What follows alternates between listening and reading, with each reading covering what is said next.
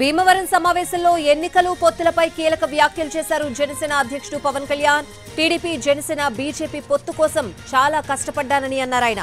జాతీయ నాయకత్వంతో ఎన్ని చివాట్లు తిన్నానో తనకే తెలుసని రాష్ట్రం కోసం అవన్నీ భరించానని చెప్పారు పవన్ కళ్యాణ్.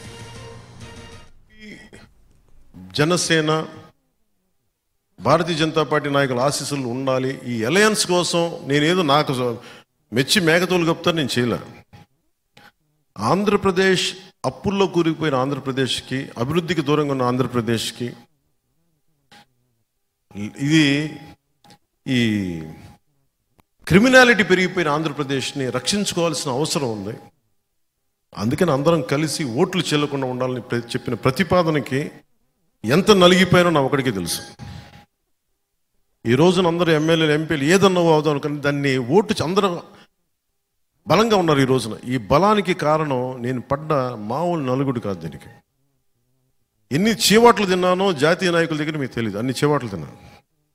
నేను ఒకటే రెండు చేతులు పెట్టాను. సార్ మా రాష్ట్రం సార్ ప్లీజ్ సార్ ప్లీజ్. ఇంతే దండం పెట్టి దండం పెట్టి ఈ రోజున జరిగింది. నేను ఎప్పుడు పార్టీ జనసేన పార్టీ ప్రయోజనాలు ఆలోచించాలా. ఆంధ్రప్రదేశ్ ప్ర- ప్రజల ప్రయోజనాలు తెలుగు ప్రజల ఐక్యత ఆలోచించాలి.